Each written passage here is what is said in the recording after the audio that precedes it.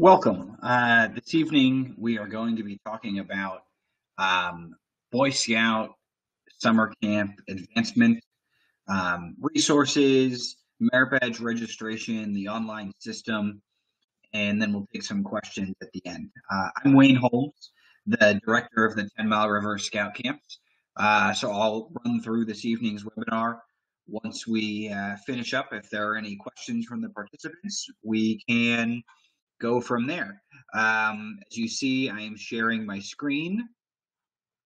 And the first place you're going to want to go uh, is to our website, uh, www.bsa-gnyc.org, as it says right up here. Um, going to that link will take you directly to our website, uh, which looks like this to get for, uh, to the camping section of our website, you can see all of our camp options are here. Uh, this evening, we're going to be talking about 10 Mile River. So click on the 10 Mile River Scout Camps link there. Uh, there are plenty of resources here. Uh, I'm also going to show you another place to find more resources um, for each camp as well. Um, you can click here at 10mileriver.org and take you to the uh, 10 Mile River specific website. Uh, and each camp is represented here Aquehonga, Kiowa, and Ranachqua, and our truck programs, and Lakeside at Family Camp is right here. Uh, so as you see, uh, there's a list of all the things that we have for each camp. Uh, the information that you guys are looking for, resources like the leader's guide, prerequisite information, uh, merit badge schedules, those sorts of things are posted for each camp.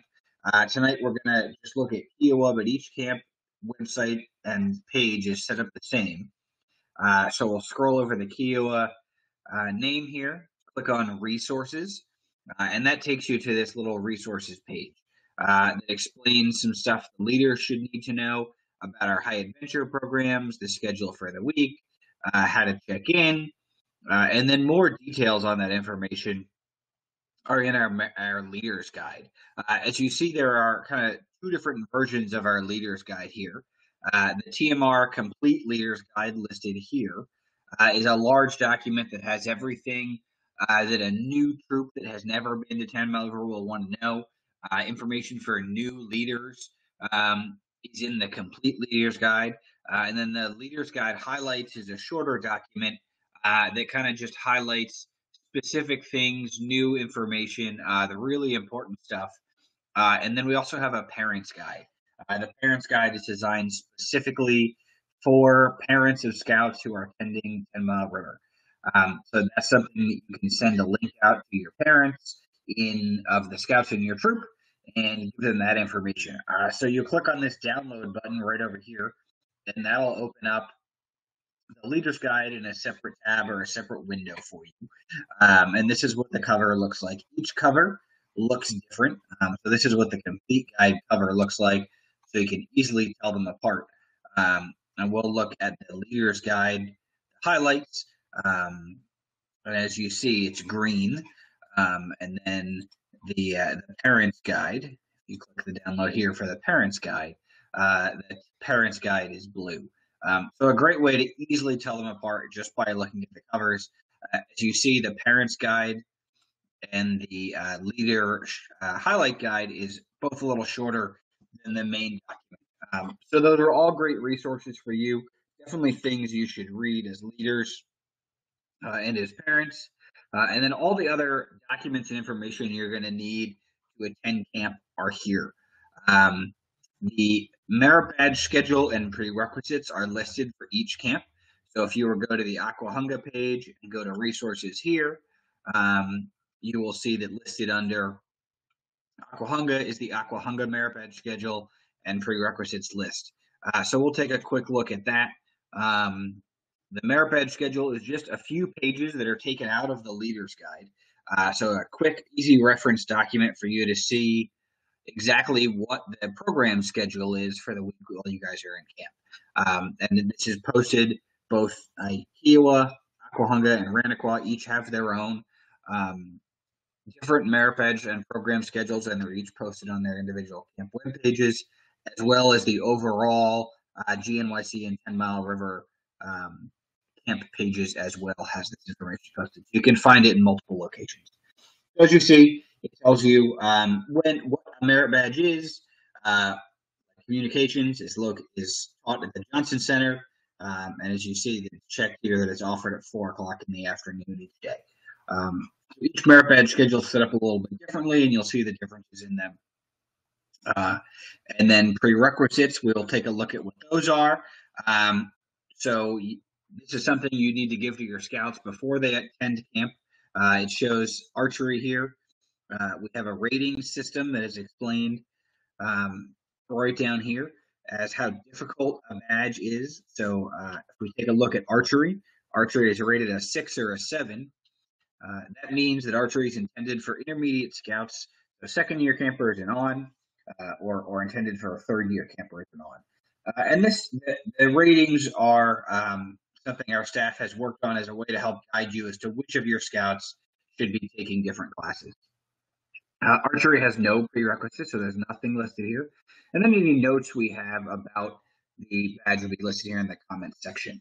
Uh, so say astronomy has a couple of prerequisites listed, um, and then they have to perform some observations after TAPS. Uh, and those sorts of things are all listed here. And each camp, again, has a separate document like this that's posted on the camp page. So you guys can easily take a look at prerequisites for the merit badges and programs we have going on. Um, so that's kind of resources and information so you guys know where stuff is located. Uh, and now we're going to uh, log into our account. Uh, so this little button right here, uh, you would click that and say log in.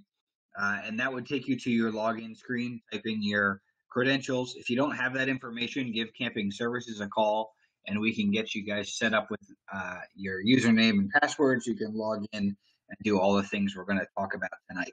Uh, first takes you right here to your first uh, your home screen, uh, and this will show you what you're registered for. Um, so we're using a, a, dummy account this evening. Uh, it's a troop that's registered for week one in Kiowa. Uh, and then your profile here, where you can update your information um, listed right here, add an alternate contact, uh, and we're going to talk about the different information that you're going to need uh, to input is for scouts and for merit badges. Um, so if you click on the week listed here, the week of camp you're attending, it's an Aquehonga week, it'll be listed under Aquehonga. If it's Ranachqua week, it'll be listed under Ranachqua. Uh, we have four youth and two adults attending camp. Um, right now, this number added, we have one scout who we've registered for classes. So you'll see that in a moment when I show you that, but this just shows you the breakdown. You have four spots, one is registered, um, and then the total breakdown of fees and balance due. Uh, and then in order to register scouts for classes, they need to be in your roster. Um, think of your roster like your charter list. Um, for any GNYC units, um, this should reflect the scouts that are registered on your charter and your troop should be listed here in your roster. Um, if you need us to, to re-upload a copy of your charter in here to update that information, let us know. We can do that for you individually. Um, also, you can add campers. If you're just missing a few, feel free to add more campers. I'll walk you through that process right now.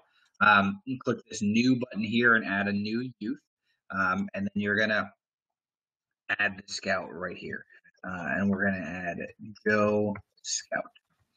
Um, and put their address information in.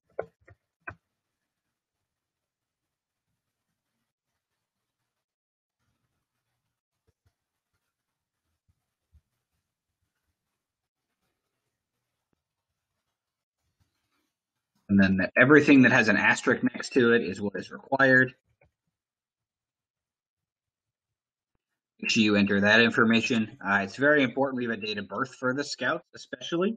Um, we need to know when they, uh, how old they are.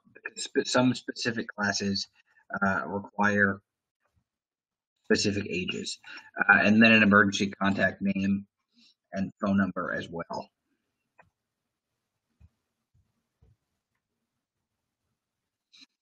Uh, and then whether you want to allow photography for the scout, um, we take a lot of pictures. We like to use that stuff in our advertising material. That's why that's there. any serious allergies or dietary restrictions, and then a shirt size. Uh, and then you're going to click that save button you see it shows up over here in your roster. And then we're going to get into event registration on how to uh, add merit badge classes. So as you see, we already have one scout listed here for our uh, week of camp. And then to add another one, um, you need to click right here on the new youth registration button.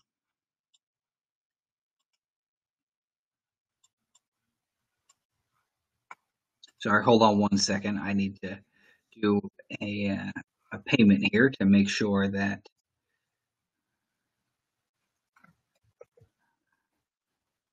we have that scout registered.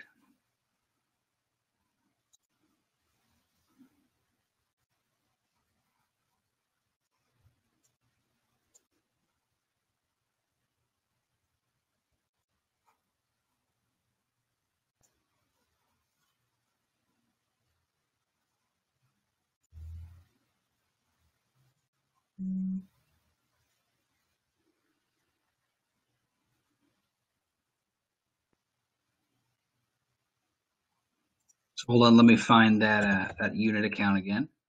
Um, and I'll show you exactly what we're doing. So you're going to want to click on event registration here, uh, right here, and then you're going to add a scout. So it shows that roster list of scouts we have here, uh, and we're going to add Samuel Reeves. Uh, so we're going to create his registration, verify that all his information is correct. If he's in here from last summer, you may need to update information like emergency contact or a phone number. Um, shirt size, something that changes from year to year, and rank. So make sure that stuff gets updated. Um, and then we're going to choose their classes. It's a pretty simple thing to do. You click on this classes tab right here, and then this is a list of all the available classes we have uh, at Kiowa during week one. And they're in alphabetical order. Uh, a great thing to do is to make sure that you have your scouts uh, know what they're doing before you go online to enter this information.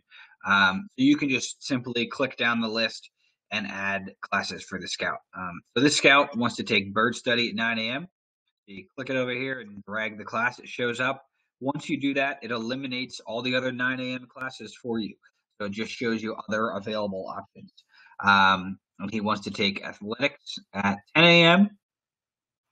He wants to take journalism at 11. He wants to take camping at 2 o'clock after lunch and siesta. He wants to take geology at 3 o'clock. And he wants to take sports at 4 o'clock. Um, so then it shows you other available things in the evening. Um, so for the 7 o'clock time period. It's great if you can fill up the, the scout schedule and uh, make sure they have a class for of the uh, program times during the day. Um, but if the scout is scheduling a time off, that's just fine. You don't have to have everything full. Um, say he doesn't want an 11 o'clock class, you don't have to have it full. So you have all the classes listed here. Um, and then if you need to change things, it's very easy. So I just pulled that 11 o'clock class out and he wants to change it to forestry. We can do that. You just drag forestry right in there. And then you want to make sure you click this save button at the bottom. Um, so you would click save and it prompts you to go to your cart and check out or return to the event. So if you don't have any more scouts to register for their badges, you can click the checkout button right here, and that'll take you to your cart to pay. If you have more scouts to add, you click that return to event button and go right back here and you can add more scouts. So we'll add one other scout uh, and then show you the checkout process. So same thing, click on classes here, uh, and we're just to go through and add some classes for him. He's to take archery at 9, Indian lore at 11, uh, communications at 2. And as you noticed, uh, when we added archery at 9 o'clock, it also eliminated the 10 o'clock class period because archery is a two hour class.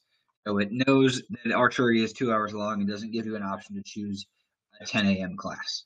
Um, he wants to take geocaching at 4. So we're going to sign him up for those classes. You drag them and drop them right over there. Uh, you want to go in and click save but it's telling us, hey, we don't have a shirt size for the scout. So we want to make sure that we enter his shirt size there and click save.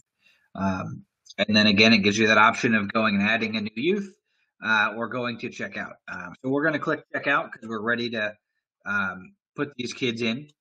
And then right here, um, it lists exactly what you're doing. So here's the scout. Here's Samuel Reeves, his registration, uh, and then all of the merit badges we're registering him for. And then right down here is Tommy Scout or the other scout we're registering, and the merit badges we're registering him for. Um, I'm going to click the submit my order button right here, and that's going to register them for classes. Well, you get that little box that says your order has been placed successfully. Uh, and as you see, they are no longer located in the cart. Uh, so then there you go. You have re- successfully registered them for the merit badges. Uh, it shows up here that we did that. If you go to orders, um, so you can look at the receipt. It shows up right there. hey, we have these scouts registered in Kiowa. So you click on view receipt if you want more information. It shows you the information that you need. Um, so it's really important that once you've done the, the dragging and the dropping of the classes here, um, that you go to your cart and actually check out because that process of hitting the submit my order button down here is actually what registers them for the classes and making sure um, they are registered for the classes that you, you want them to be registered for. Um, so that's the merit badge registration process. We showed you some resources that are going to help you with this process a little bit earlier. Um, so if you guys have any questions, we can take any questions right now. Um, let me go back to the screen and see if we have any questions from anybody. It doesn't look like anybody has uh, has logged in and given a, a question. Um, but so that's the information you guys need to know this evening.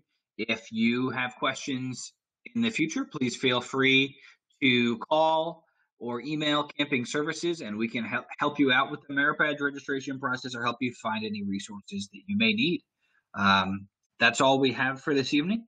Thank you very much for listening. I appreciate it and have a great evening.